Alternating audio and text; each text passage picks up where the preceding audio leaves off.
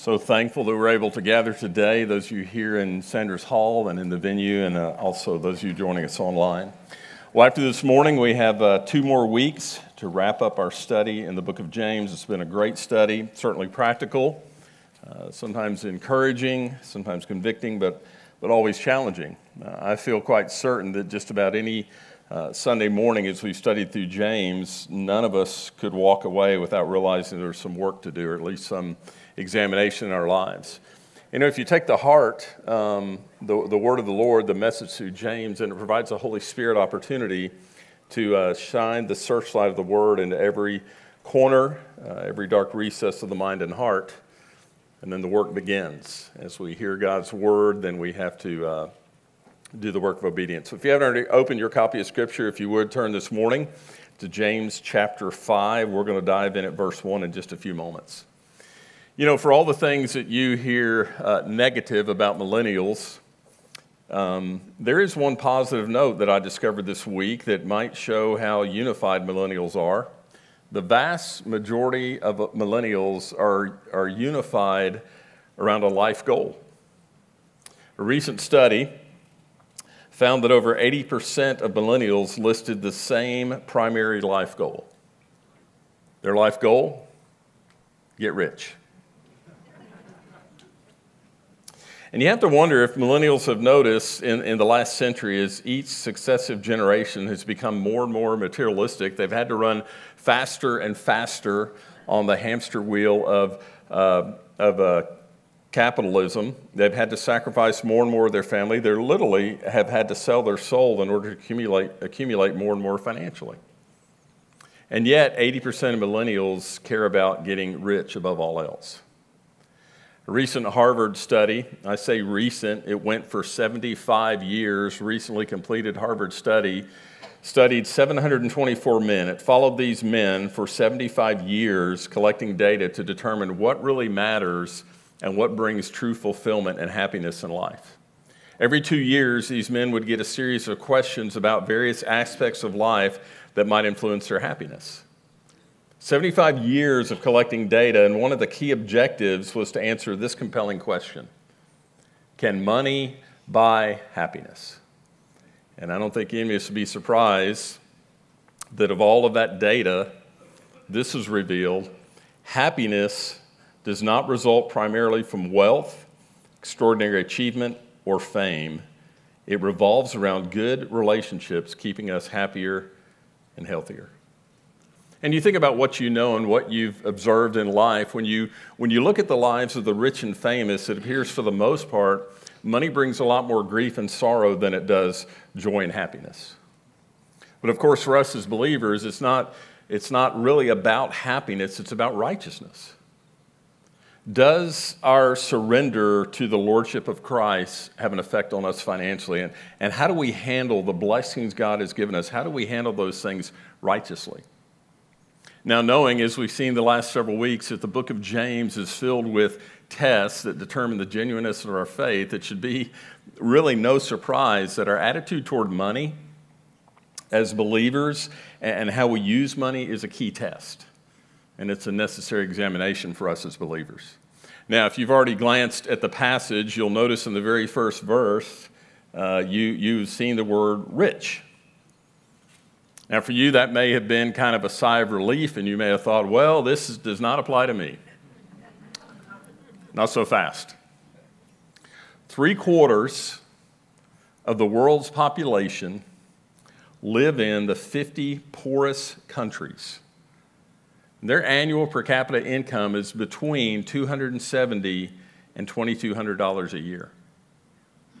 That means that a family in the, in the US, a family of four, with an annual income of just $35,000 a year, is among the 19% of the richest people in the world.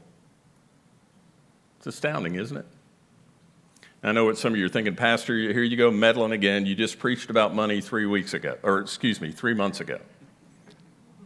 Did you know that Jesus, if you look at all of his statements, one out of every seven statements was about money? So perhaps I should be more like Jesus and make sure one of every seven messages No, we're preaching about money today because we're walking through the, the book of James and we don't skip over a text just because it might make some of us uncomfortable. I've told you before, a pastor is called to faithfully preach all of Scripture and then to call himself and his people to accountability uh, and obedience to what the Word of God says. So, so we talk about money because it's a key thing in Scripture.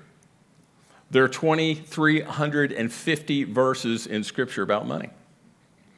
I've told you before that Jesus talked about money more than heaven and hell combined. Isn't that astounding?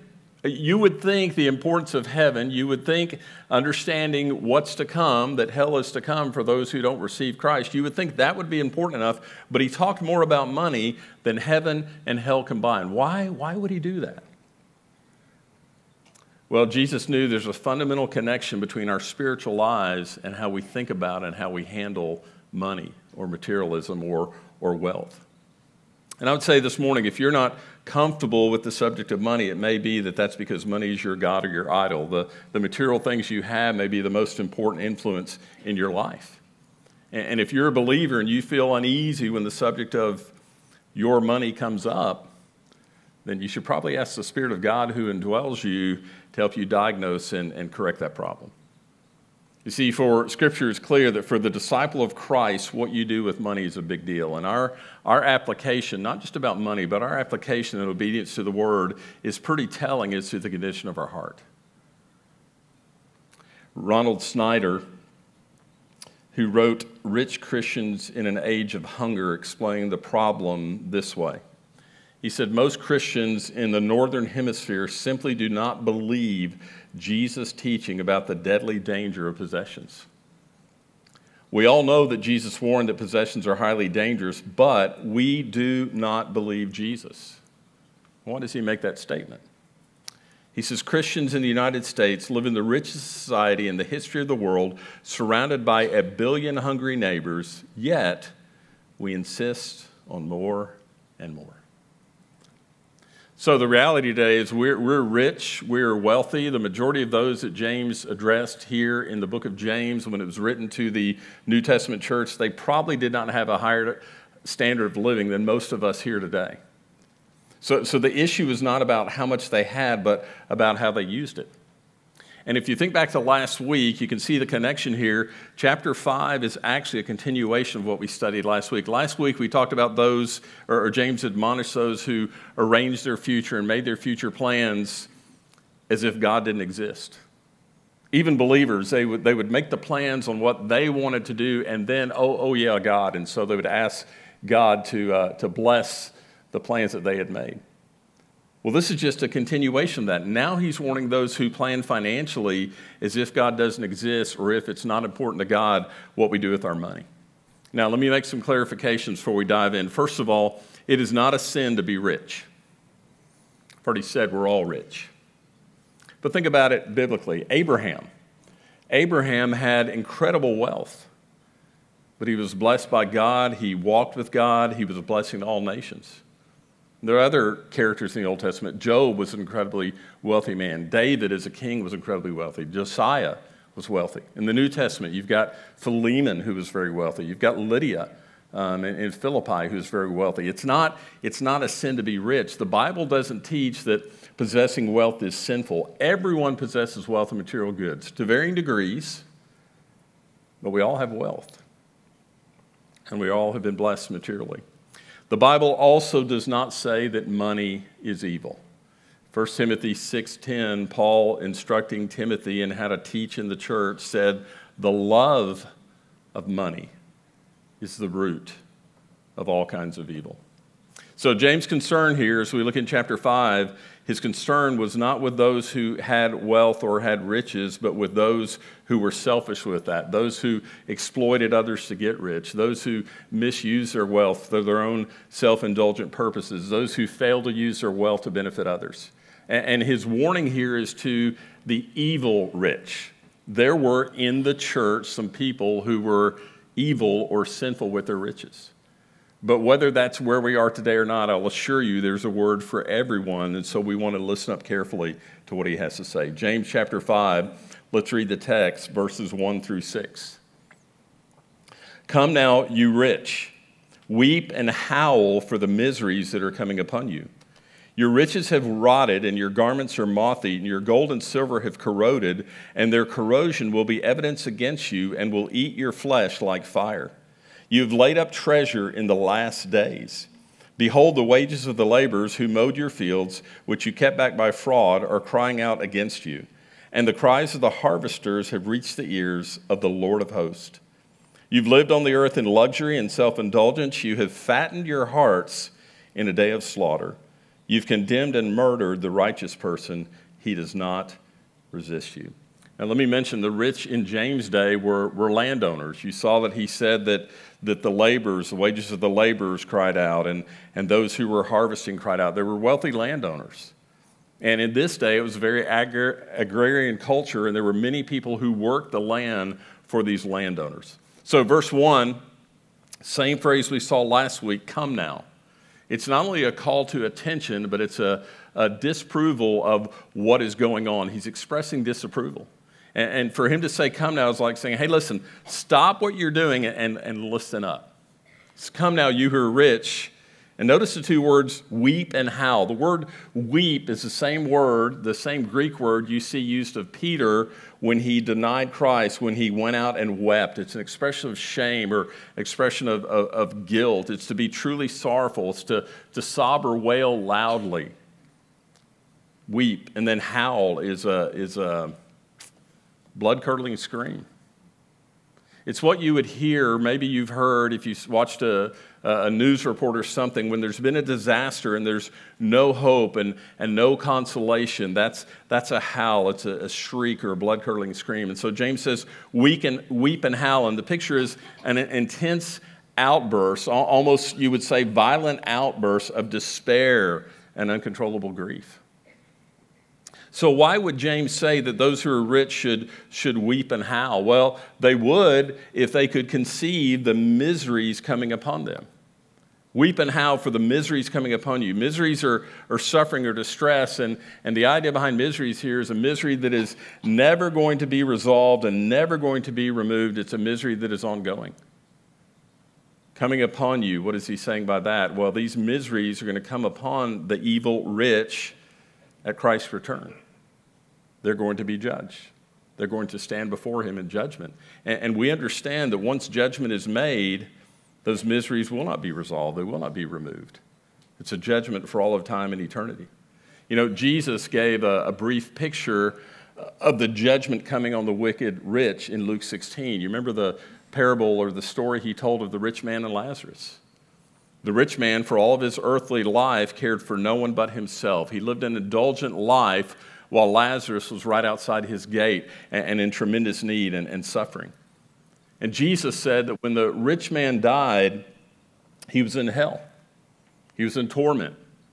And he asked for even one drop of water to cool his tongue because he was in such agony in the flame. And when he asked for the one drop of water, he was reminded of all the good things he'd enjoyed in his earthly life while Lazarus was in agony. And the rich man's agony would last for all of eternity. You know, if the rich man could have seen what was coming, he might have been weeping and howling. He might have even come to his senses and, and repented. And if you look at Scripture, all through Scripture, and what Scripture teaches about wealth and material possessions, if you study everything that Jesus said about money, you begin to recognize that wealth is not an advantage. If anything, wealth is a spiritual handicap. Those who are wealthy have much greater difficulty coming to Jesus and, and, and walking with Jesus. Near the end of the Sermon on the Mount, Jesus instructed us do not, or you cannot serve two masters. Said, You'll either hate the one and love the other, or be devoted to the one and despise the other. And who are the two masters that Jesus was referring to? God and money in Mark chapter 10, you remember rich young ruler came to Jesus and he asked Jesus how he could inherit or how he could receive eternal life. And Jesus, knowing the man's heart and knowing that, that his whole life revolved around his wealth and his material possessions and his riches, Jesus said to that young man, Go and sell everything you have, give it to the poor, and then come follow me. And the scripture tells us that the man, the young man, went away sorrowful. Why? Why was he sorrowful? Well, evidently, he wanted a relationship with Jesus. He wanted to be part of the kingdom of God, but he loved his wealth more than he loved God. And he chose his wealth. He wasn't willing to part with his possessions. His trust and his security was in his riches. And following this encounter with this young man, Jesus made clear to the disciples it is impossible to trust in riches and to trust in Him, to enter the kingdom of God. Well, in verses 2 through 3 here in James chapter 5, he lists the three types of wealth uh, in the ancient world. You had grain or your crops, you had your garments. Those who were wealthy would have many changes of very expensive clothing, different changes for different occasions. And then, of course, you had gold. And in these verses 2 and 3, you also see the first of four sins that will bring severe judgment on the wealthy. The first thing he shows us here is that the wealthy are condemned because of their excessive hoarding. Then he goes on to show us that there's oppressive defrauding, self indulgent living, corruption of justice. So, the first sin that you see here in James 5 uh, of those who have wealth is excessive hoarding. Do you know in the United States today there are 23.5 million storage units? You see any new storage units going up around where you live? They're all over the place. 23 and a half million storage units, one for every 14 people. 2.8 billion square feet of storage space available for rent, with an additional 56 million feet added annually. At the same time, in the last 50 years, the size of our homes has grown as much as 50%, while our families have gotten smaller.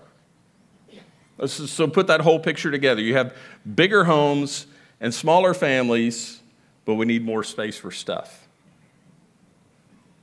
You see, the issue is, is, again, is not the things we have. The Bible doesn't speak against accumulation, but against vast accumulation focused on solely our comforts and our pleasures. The Bible speaks against hoarding when there's legitimate need around you that could be met by the things you've hoarded. Look in verse 3. He points this out. He says, You have laid up treasure. What does that mean? You, you've heaped up treasure as if your life in the world is going to go on forever.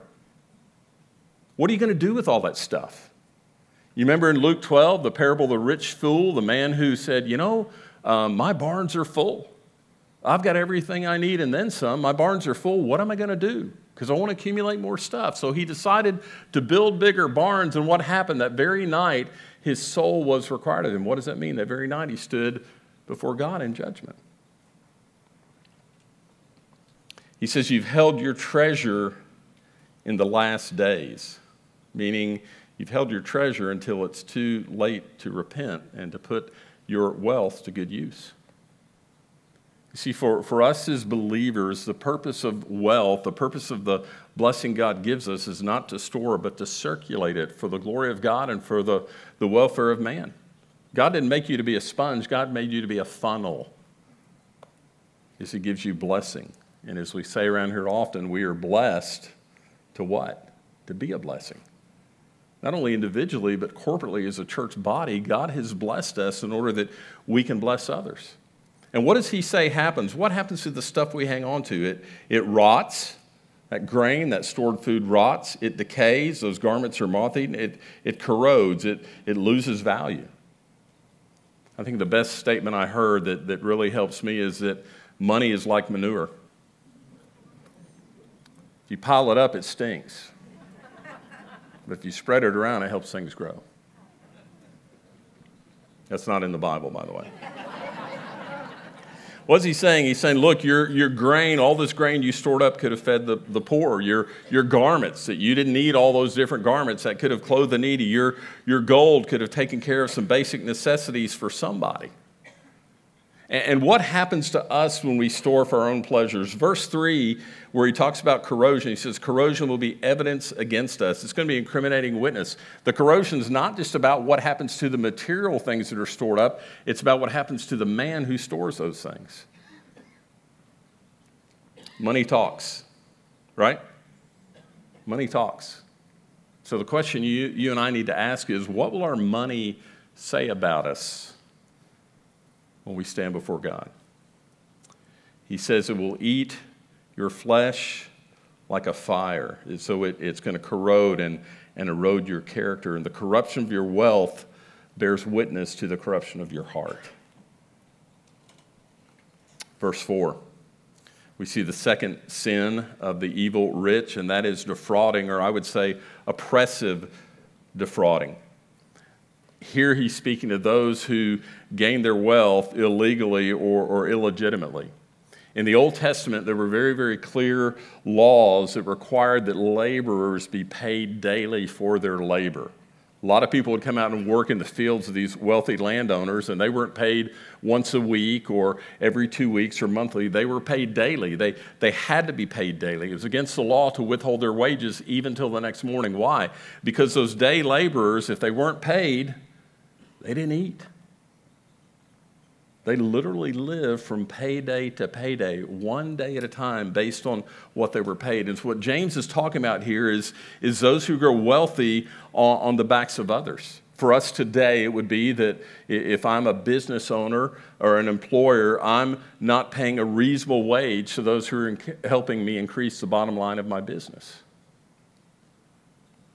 We keep others from benefiting from our wealth. Remember the, uh, the big financial crisis back in 08? Can you believe that was 15 years ago now? You remember what happened? You had all these corporations, all these failures, and, and, the super rich employers and the heads of corporations, while many, many employees were losing their jobs, what were they doing? They were giving themselves big bonuses. It's exactly what James is talking about here. And, and we need to understand, not just financially, but anytime the poor are abused, that gets God's attention. He is deeply concerned about the just treatment of those who are poor and those who are insignificant in our society or our culture today. Verse 4, he says, The cries of the laborers have reached the ears of, and this is a title for God that means a specific thing, have reached the ears of the Lord of hosts. Now, that should have struck fear in the hearts of those who are oppressing and defrauding the poor, and here's why. The, the Lord of hosts, or your translation may say the Lord Almighty, is the commander of the armies of heaven. So, what he's saying is the very armies of heaven are going to come and act in judgment against the wicked rich, those who are exploiting people in order to gain more. Verse 5, you see the third sin it's self indulgent living. The word luxury would be a word we would use to describe uh, what the prodigal son did just wasteful living, conspicuous consumption, pursuing pleasure. And then self indulgence is, is soft living, living a, a, pampered lifestyle at the expense of others. And notice what James says. Here's the picture when he says that, that you are um, like one, you fatten your hearts in a day of slaughter. He's saying you're, you're like a dumb animal you are filling and, and gorging yourself without realizing you're headed to slaughter.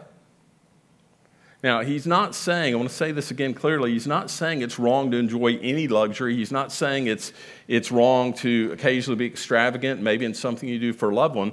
The problem, again, is conspicuous overconsumption, all spent on your personal pleasure. I was thinking this week about some of the I, I got to make it a mission here. I, I listen to prosperity preachers sometimes.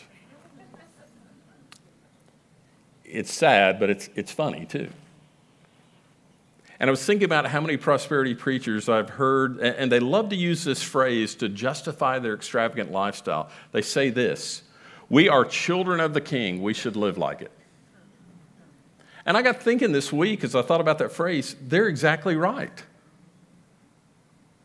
we should live like our king lived. He didn't live a life of self pleasure and extravagance. He lived a life of selflessness and a life of, of sacrifice. We should live like our king, not in self indulgence and not in luxury. The fourth sin, verse 6, the corruption of justice. There, they, they were using the judicial system, which is typically under the control of the wealthy they were using the courts to commit, James said murder. I don't know if that was actual murder, but basically they were, they were taking away what little means the poor had. They were taking away what little sustenance they had for life. Why is that? Because they were never satisfied. They would do as much as they had, as much as they had already accumulated, as much as they had to take care of their needs, they would do whatever it takes to, to whomever stood in their way of getting more. There's a great example of that in, in 1 Kings 21. Ahaz, one of the most wicked kings of Israel, he's the king. He has everything he needs, he has more than he could ever use. And a man named Naboth had a vineyard nearby the, the palace, and he decided he needed Naboth's vineyard to plant a garden for the palace. And he went and asked for the vineyard. And Naboth basically said, No, this vineyard has been in my family for generations. This vineyard belonged to my fathers. It's, it's not for sale, it's not for trade. You can't have it. So Ahab goes back to the palace and does what any good man would do he pouts. And Jezebel, because Ahab is, is pouting and because she's even more evil than he is, she decides to take care of it. So she goes and has Naboth killed and tells Ahaz, okay, now you can you can have the vineyard.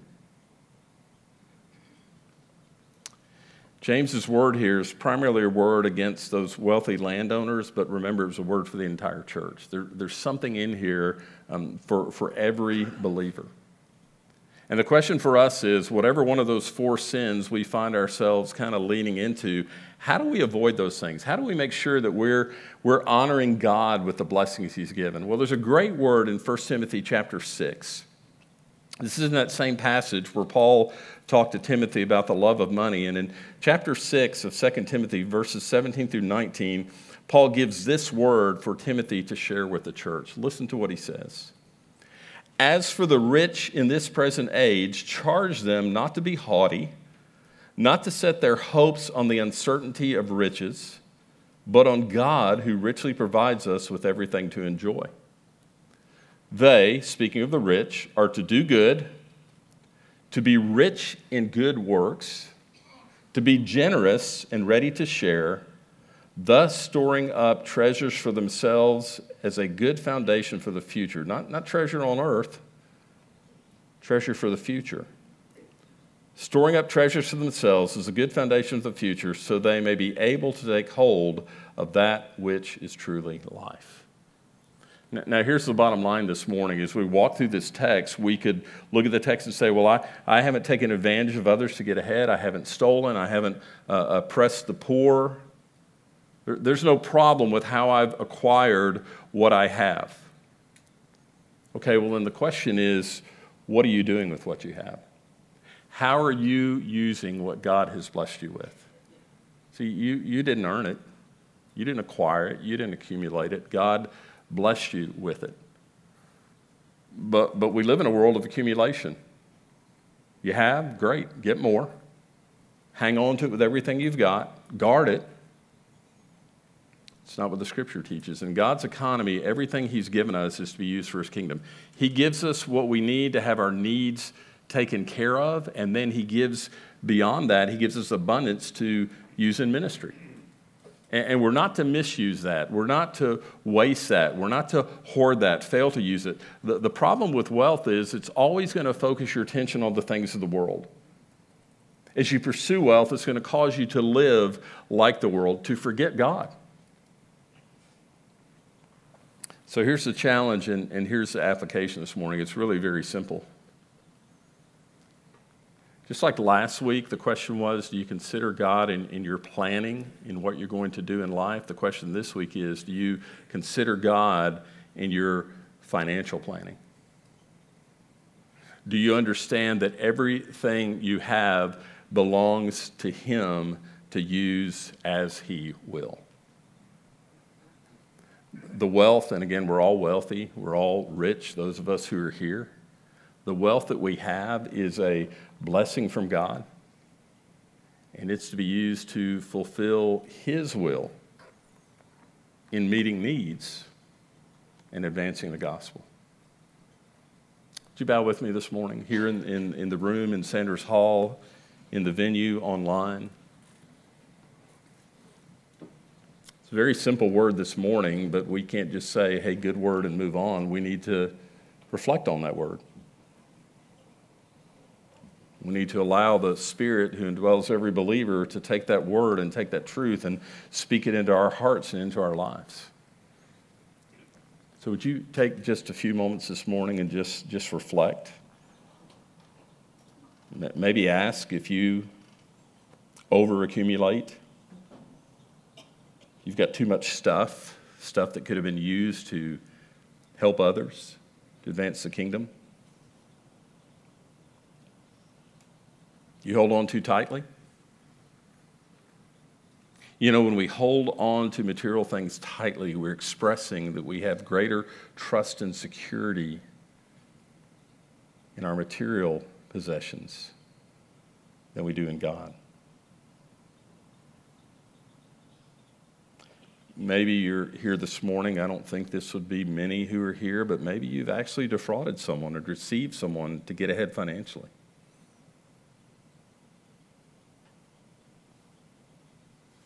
I think all of us could ask the question have we, or do we at times succumb to a self indulgent lifestyle while people around us do without?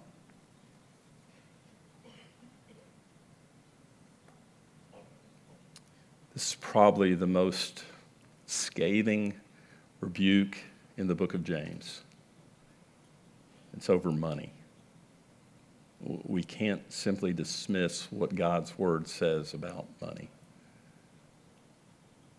Jesus spoke about money so much because he knew how we look at, how we view, how we handle money has a direct correlation to our spiritual life and our walk with him.